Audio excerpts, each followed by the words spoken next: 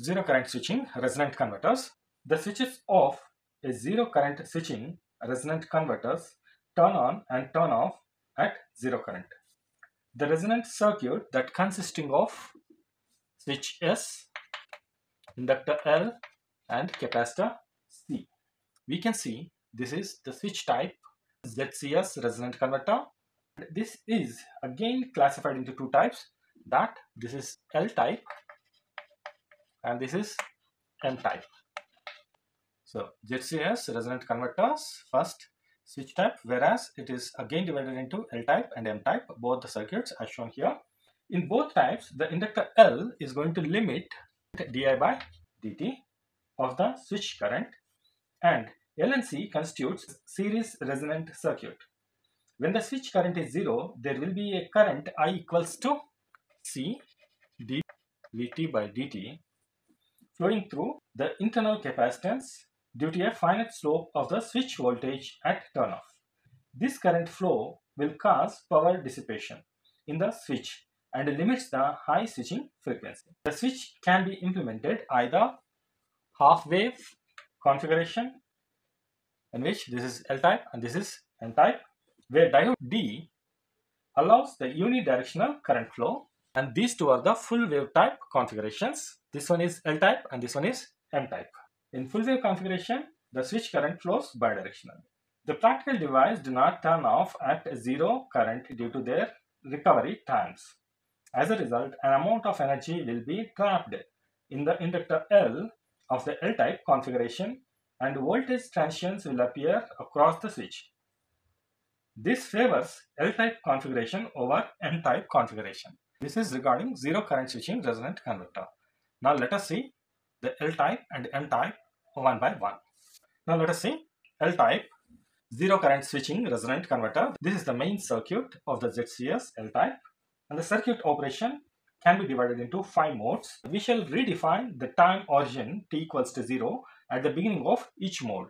So now the mode 1, this mode is valid for 0 less than t less than t1 when the switch S1 is on and the diode D conducts. The equivalent circuit will be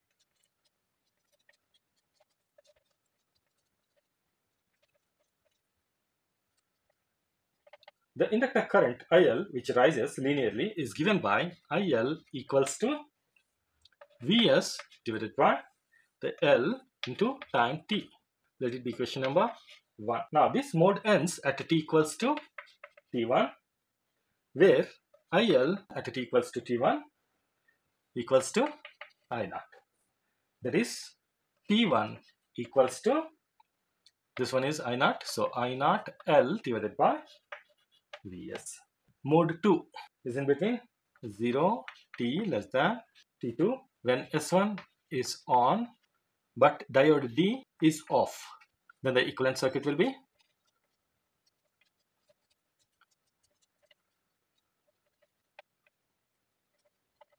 Now, the inductor current IL equals to Im sine omega naught t plus I naught. That is equation number 2.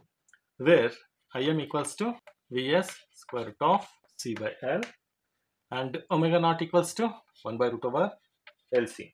Now the capacitor voltage Vc equals to Vs of 1 minus cos omega naught t. The peak switch current which occurs at t equals to pi by 2 of root LC is Ip equals to Im plus I naught. Now the peak capacitor voltage Vc of peak is equals to 2 Vs. This mode ends at t equals to t2 and IL at t equals to t2 equals to I naught and Vc equals to 2Vs. Therefore, the time T2 equals to pi root LC. Now, mode 3 is valid between 0 and T3. The inductor current falls from I0 to 0 that IL equals to I0 minus Im sine omega naught t. Let this be equation number 3. The equivalent circuit for the mode 3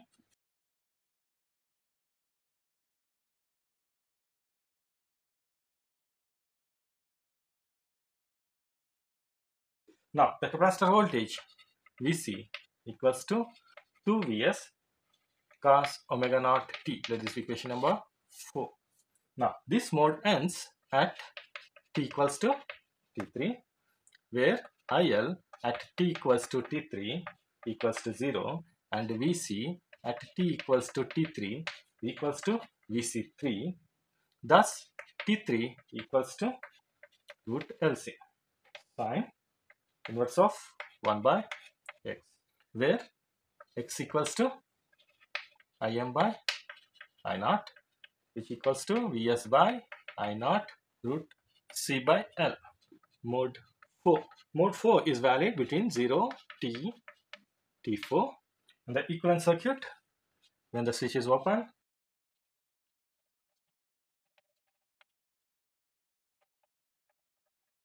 Now, the capacitor supplies the load current and the voltage is given by Vc equals to Vc3 minus I0 by C in the time t. And this mode ends t equals to t4 where Vc at t equals to t4 equals to 0. Thus, t4 equals to Vc3 of C by I naught. And let this be question number 5 mode 5 then the switch is open and the capacitor is replaced with the diode this mode is valid for 0 t less than t5 when the capacitor voltage tends to negative the diode d conducts the load current i naught flows through the diode. This mode ends at t equals to t5 when the switch s1 is turned on again and the cycle repeats that is t5 is equals to the total time t minus t1 plus t2 plus t3 plus t4. The peak switching voltage equals to DC supply voltage Vs since the switching current is 0 at turn on and turn off and the switching losses which is the product of V and I becomes very small. The peak resonant current Im must be higher than that of the load current I naught and this sets a limit on the minimum value of load resistance R. However, by placing an anti-parallel diode across the switch, the output voltage can be made insensitive to the load variations like this. Let us come to the waveforms. In the first mode, the current starts from 0 to and reaches I naught. And in the second mode, it reaches to the maximum value of Im plus I naught value and decreases to I naught in second mode and in third mode it will become to 0 and this is going to start again after t. This is the inductor current IL. Now the voltage across the capacitor will be 0 in the first mode. In second mode it starts building and becomes equals to Vs when the IL is maximum. Then after that, it starts again building and reaches 2 Vs at the end of second mode. In third mode, it starts decreasing. At the end of fourth mode, it will become 0. And in fifth mode, it stays at 0. Again, after first mode, it starts building. These are the waveforms for L-type zero current switching resonant converter. This is regarding the L-type zero current switching resonant converter. Now m-type zero current switching resonant converter. M-type ZCS resonant converter as shown in this figure. This circuit operation can be divided in modes whose equivalent circuits are shown here. We shall redefine the time origin from t equals to 0 at the beginning of each mode.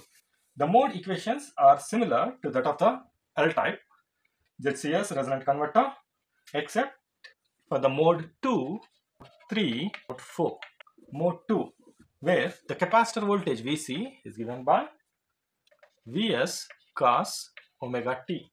This is equation number A. The peak voltage current that is Vc of peak is equals to Vs at the end of this mode that is t equals to T2, Vc at T equals to T2 equals to Vc2 which equals to minus Vs.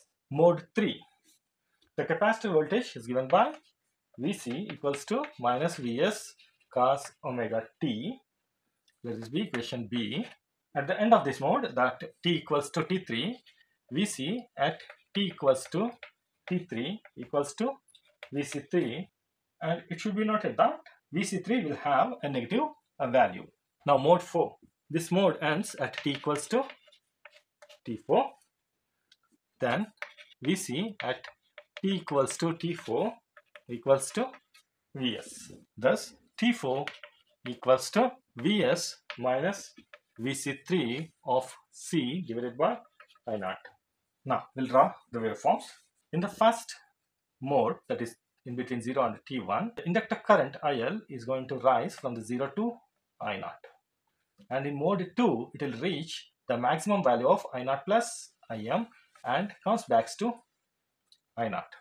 In mode 3, the IL is going to reach the value of 0 and stays at 0 until the next cycle. Again, the same process is going to take place. The capacitor current. The capacitor current in the mode 1 will be Vs and in mode 2 it will reach to minus Vs. In mode 3 it is minus Vs itself and in mode 4 again rises and goes back to the positive value and in mode phi, it will be at Vs and in the next cycle it will be at Vs and starts decreasing. So these are the waveforms regarding m-type zero current switching resonant converter. This is regarding the zero current switching resonant converter. If this video is useful, please like, share and subscribe.